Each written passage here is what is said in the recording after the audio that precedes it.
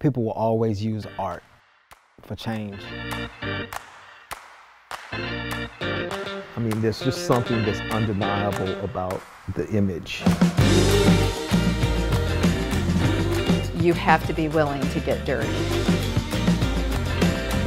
It was for real, as real as it could get.